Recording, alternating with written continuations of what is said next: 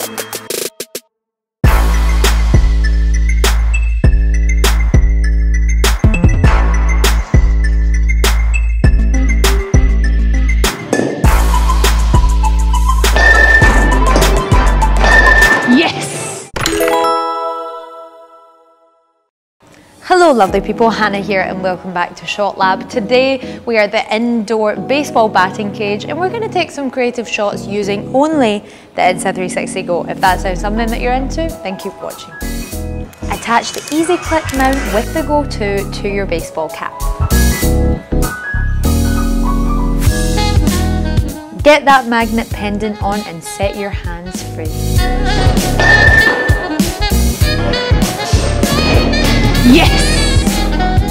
Remember, with the pivot stand, you can mount this camera everywhere.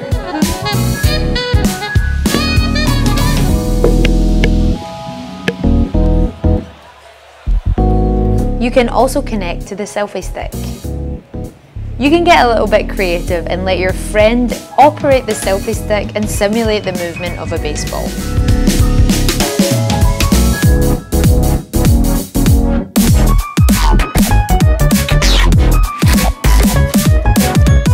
With these tiny legs, your charger automatically becomes a tripod.